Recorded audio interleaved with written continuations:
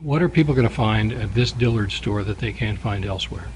I think the bigger thing that you're going to find is the client experience uh, is going to be more open and engaging. You're going to be able to play, learn, and discover within our stores. You'll see that the barriers between our associates and our customers have been taken down.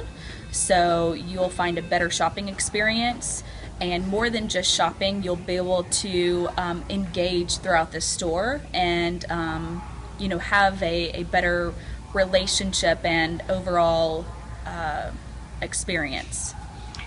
This is not the Dillard store that Cincinnatians are used to? Um, I think this is our best foot forward, is what you're going to see. I think that you're going to see a uh, very updated design, a very open design, um, great brands brought into this store. So it's definitely going to be a new, fresh view for everybody that I think they'll really enjoy. Um, Tom Ford sunglasses will be one, Kate Spade handbags. Um, we'll have different shop concepts with our Ed shop down in lingerie and foundations, um, as well as uh, Laura Mercier, Kiehl's, MAC Cosmetics, um, YSL Armani and Cosmetics.